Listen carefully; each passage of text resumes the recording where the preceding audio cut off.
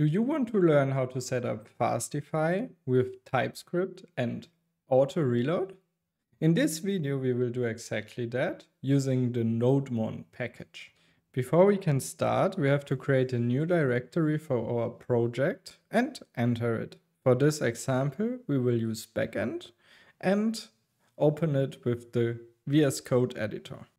We then initialize a new project and install the required packages.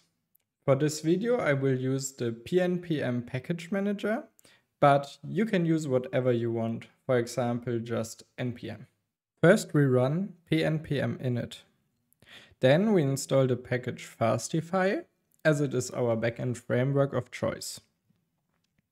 We then install TypeScript with the necessary types, tsnode, so we can run the .ts files without compiling them, and lastly, we will install NodeMon for the auto reload.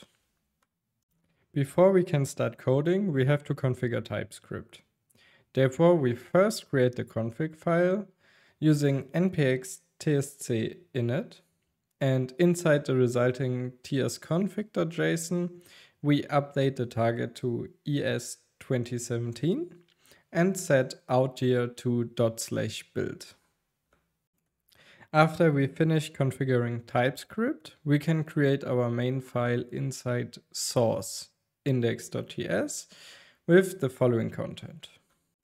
We first import the Fastify package and create a server variable from it. We then create the root endpoint and send a reply on request.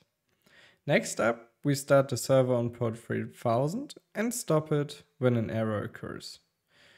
And with that, we wrote all the code we need for our basic server.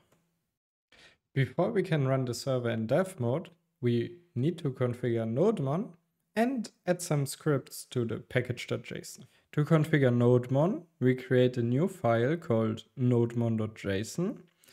And inside of it, we configure to run .ts files using tsnode. Then we add the dev and build scripts inside the package.json. The dev script runs the index file and watches the source directory for any changes. And if there is a change, it will automatically restart the server.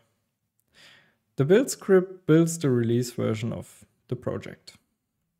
And now that our scripts are added, we can run the server using pnpm dev and then change something in the index.ts file. For example, the port. And then we see that it automatically restarts the server with the new port. And with that, you've set up your Fastify project with TypeScript and auto reload. If this guide was helpful for you, give it a like and subscribe to my channel. And if you have any questions, feel free to ask them in the comments so, thank you for watching and see you in the next one.